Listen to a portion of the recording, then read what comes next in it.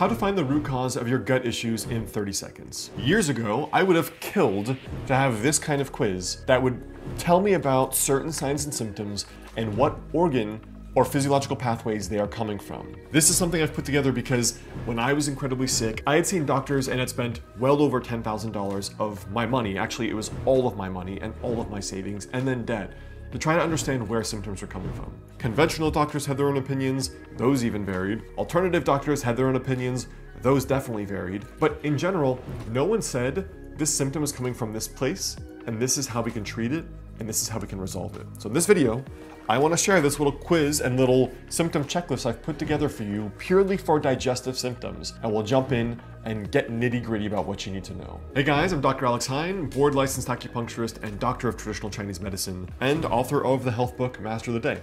Let's get in. The way we are going to approach this is not necessarily by the symptom itself, but by the location where you feel problems. Let's start with your upper GI.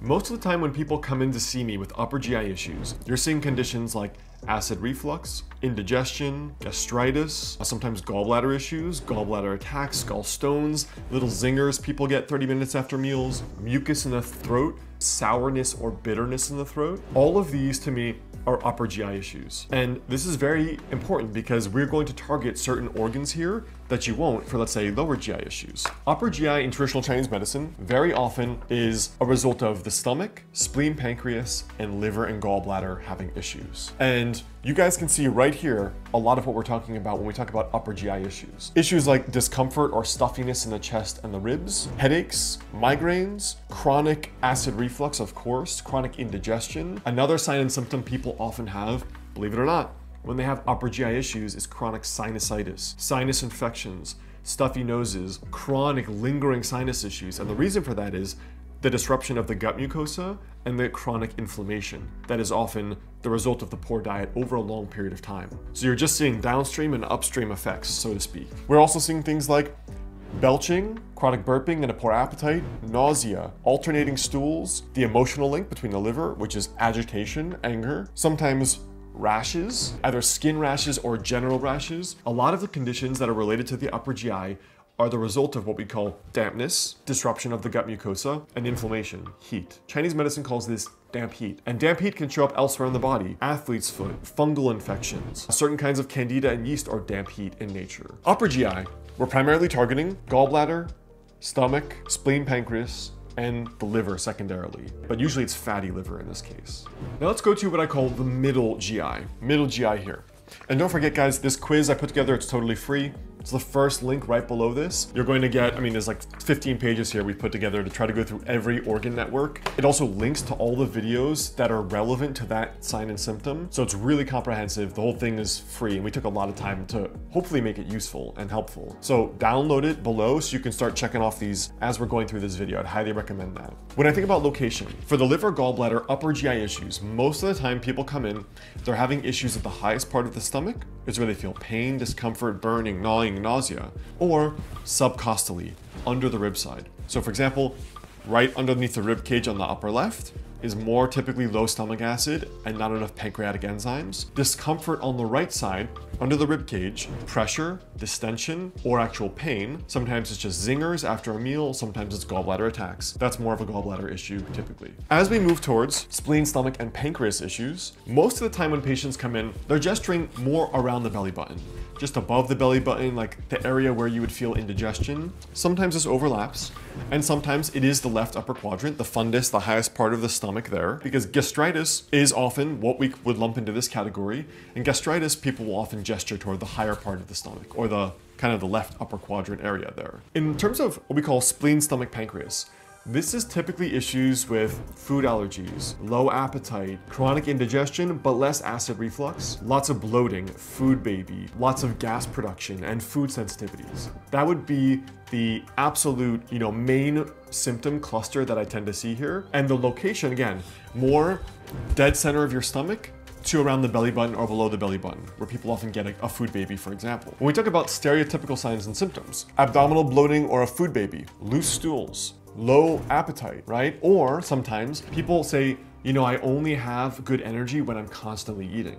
On top of that, pale complexion, unintended weight loss, fatigue, heaviness in the body or limbs, undigested food, edema, discharge, or chronic throat clearing. If you check off a lot of these symptoms, you probably have issues with these organs here. That's what Chinese medicine often calls spleen qi deficiency. The symptoms aren't really related to the spleen primarily, it's more pancreas, mucous membranes, the stomach, but all of these are related to this organ network in particular. Now, when it comes to the lower GI itself, I don't have a specific page here on the large intestine, for example, because it falls into these other organ networks. And the formulas we utilize to treat these are often the ones that resolve large intestine issues, like constipation, or like for example, alternating stool patterns or diarrhea, for example. Chronic loose stools are again more what we call spleen, stomach, pancreas issues from Chinese medicine point of view. For this one, this is more small intestine, large intestine, and again, spleen, pancreas, and stomach. But these kinds of issues are, in terms of location, typically below the belly button. Gas, a lot of pressure in the abdomen, alternating stools, or very severe constipation, right? Purely dry stools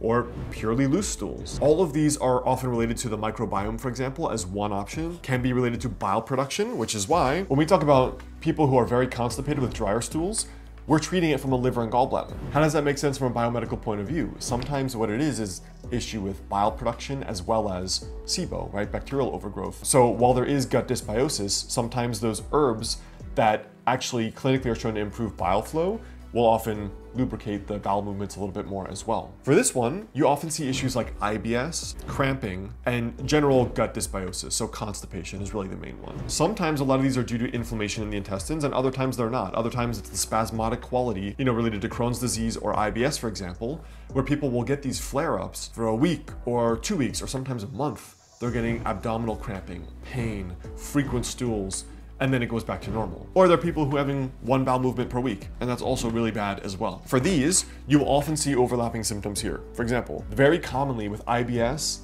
and people who get abdominal cramping, you will see upper GI issues. That's one of the key signs that there's a very poor diet involved, is because you are seeing the upper GI showing heavy signs of inflammation, gallbladder issues, chronic sinusitis, that sort of thing as well. For these, you will see upper GI and lower GI in conjunction, especially IBS, which is strongly linked to a poor diet for some people, and also chronic constipation that's very severe, like once every three days or more, is very commonly dietarily linked. And you will see upper GI issues with the gallbladder and the stomach and acid reflux most of the time in my experience. Now, we have tons of videos here on the channel for how to treat each one of these. It would be an hour long video to go into how to treat every single one of these patterns. Go back through the other videos. We have a hundred on how to actually treat these.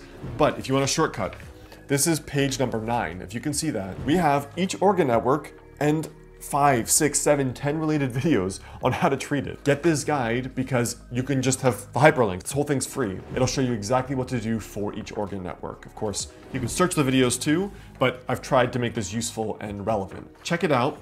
Again, don't forget guys, if you want to work with me one-to-one -one in my clinic in Los Angeles or via telemedicine, I work with a limited number of new patients every single month. So you can go to dralexheyne.com forward slash clinic or check out the information in the bio down there below. And then also don't forget, we shot a recent video overviewing this free guide and how to uncover the root cause of your health problems in 30 seconds. So make sure you check out that video right here as well.